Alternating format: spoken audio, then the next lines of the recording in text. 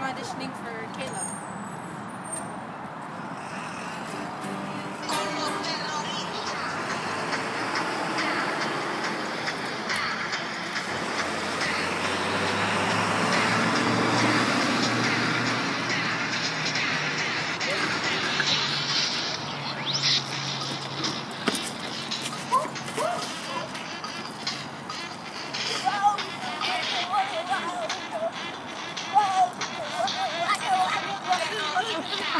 Cảm ơn, cảm ơn.